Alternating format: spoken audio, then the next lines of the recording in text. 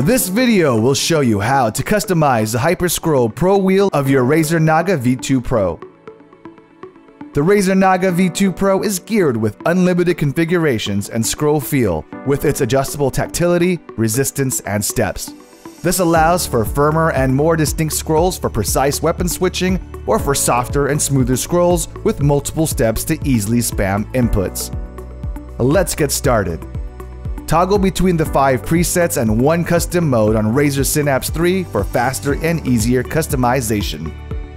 Go to Razer Synapse 3 and choose the Razer Naga V2 Pro on the dashboard. Next, go to Scrolling tab to reorder or disable the scroll wheel stages in gaming mode. Choose between the standard distinct, ultrafine, adaptive, or free scroll presets. Take advantage of its unlimited configuration by going to Active Scroll Wheel Haptics and click Customize. Adjust the scroll tension from a scale of 0 to 100. This changes the strength required for each tick of the scroll wheel.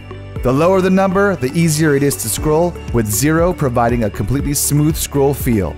Adjust the number of steps required for a complete revolution of the scroll wheel from 8 to 96. Lower steps mean thicker, chunkier ticks. Higher steps provide finer ticks and more inputs.